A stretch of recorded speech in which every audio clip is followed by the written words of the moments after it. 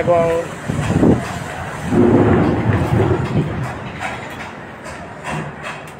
ওপাশে আছে শাহরুখ দুই। দুইটি লঞ্চের মাধ্যমে সরিয়ে নেওয়া হচ্ছে।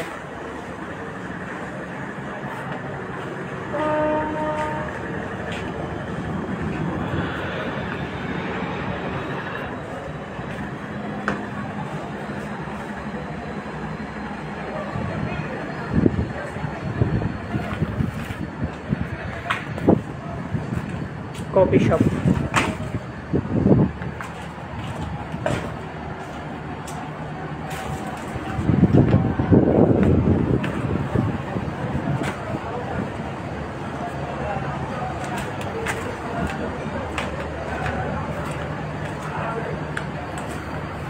Single cabin. এটা হচ্ছে ডুপ্লিক্স ভিআইপি কেবিনের উপরের বেড। Double cabin. এটাও ডাবল কেবিন। সামনে পানি অনেক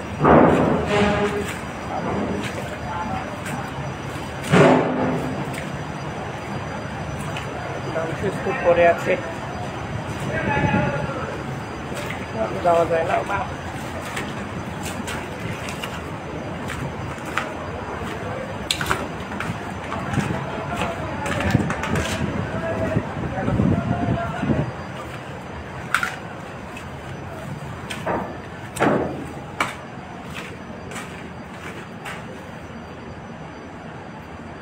এদিকে সব কেবিনে পুরে ছাই হয়ে গেছে। কিছুই দেখা যায় না ভিতরে।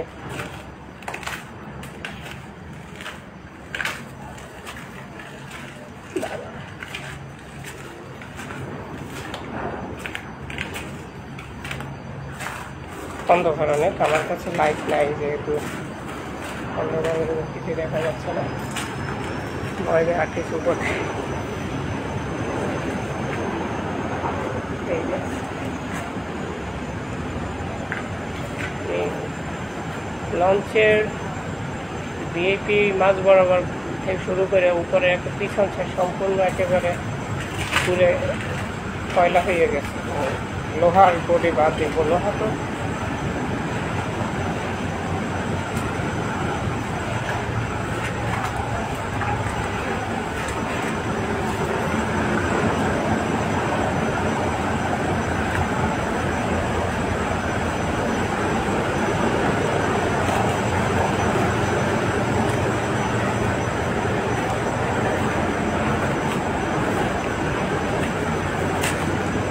আমরা সাধারণ মানুষ অনেকে অনেক কথাই বলি যে অভিযান দশের বেলায়, রাত্রবেলা, লঞ্চ স্টাফরা কোনো অগ্নি নির্বাপক যন্ত্র দিয়ে আগুন নিভাতে পারেনি, চেষ্টা করে নাই।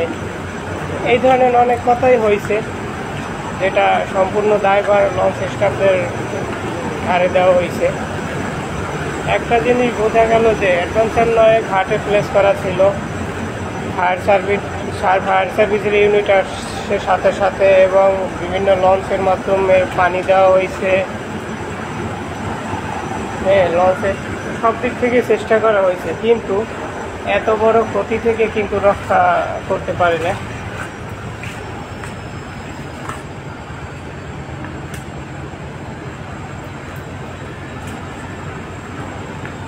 আর আমরা দেখতে পাচ্ছি যে ফায়ার সার্ভিসের মাত্র একটা ইউনিট, একটা ইউনিট আসছিল অগ্নি আগুন নিবানোর জন্য।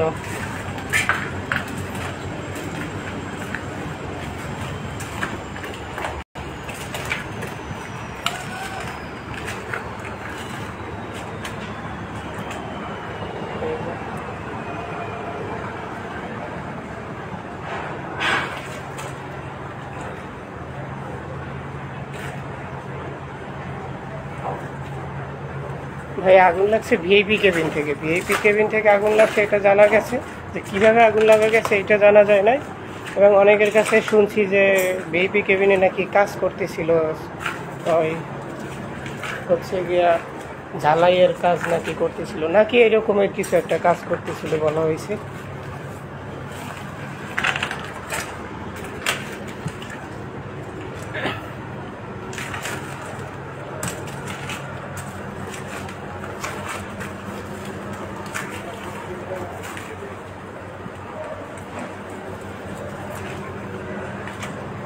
এমনিতেও যদি আগুন লাগিয়ে থাকে, আমাদের এই লঞ্চটা আজকে তো ঢাকা থেকে